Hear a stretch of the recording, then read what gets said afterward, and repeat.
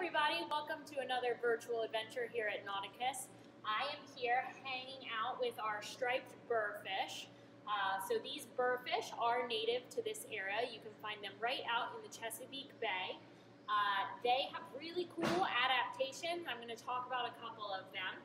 So as you can see, these burrfish have stripes on them. Those stripes help them blend in with the different sea grasses and eelgrass and widgeon grass that we have out in the Chesapeake Bay. They also are a puffing fish. So when these guys feel threatened, they'll puff up uh, and that makes them appear to be larger than they actually are. It helps them, you know, avoid predators. They also have these spines, so they kind of look spiky and that is to also help them avoid predators. Uh, so if someone were to chomp down on them, it would ow hurt them, and the burrfish could potentially escape. Um, we have several burrfish here at Nauticus that you can come visit once you are out of your quarantine. Uh, so we hope to see you guys soon here at Nauticus, and you can come see the burrfish for yourselves. Thank you.